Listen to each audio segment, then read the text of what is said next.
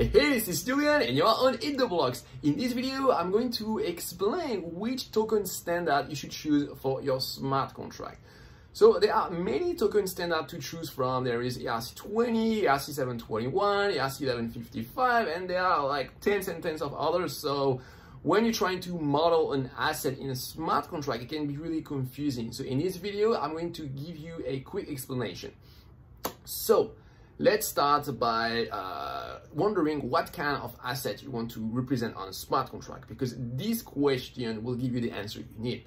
So Roughly speaking, there are two kinds of asset in the world. The first kind is what we call a fungible asset. So a fungible asset is any asset that can be exchanged for another one. For example, if you have a $1 bill, it doesn't matter which dollar bill you have. If you meet someone on the street and say, hey buddy, do you want to exchange my $1 bill against yours? You're like, sure. And this is probably not a good idea, but you, you get the idea though the, the point is that it doesn't really matter which one dollar bill you, you have.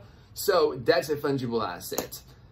And the other kind of asset is a non-fungible asset. An example, so a non-fungible asset is something that you cannot exchange for another one. Each of these assets is unique. And an example of that is a piece of art. If you have uh, a famous painting of a famous painter, then you cannot exchange this painting against another painting. This is not the same worth. So basically, if you want to represent a fungible asset, you should choose, you should choose ERC20 standard.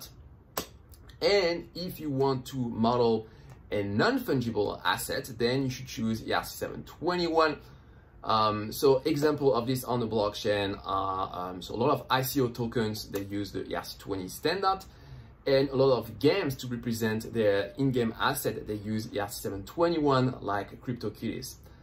Now, the problem is that there are some cases where you want to have some, uh, some group of assets.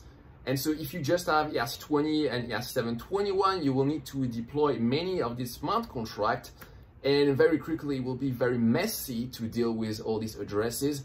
An example of that is in a game, for example, you can have a character and this character can own different items but you would like to group all these assets, uh, all these items in, in a single smart contract. So that's why another ERC token standard was created, and that's ERC 1155.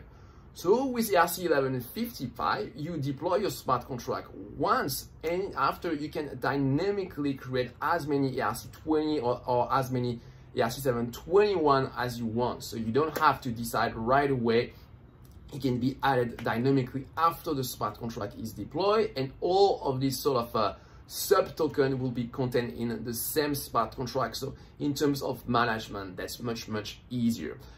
Actually i've created a whole tutorial series about all the, the major token standards and uh, in particular i walk through the solidity code of each of these token standards so you can check it out on my channel and if you want an easy way to remember the most important information about tokens, then I've created a cheat sheet with really the most important information. You can get it for free. Just follow the link in description. So do you have any question about which token you should use in your smart contract? Ask me in the comments down below. That's it for this video on which token standard you should choose for your smart contract. Thanks for watching and I'll see you for another video about blockchain. Bye bye.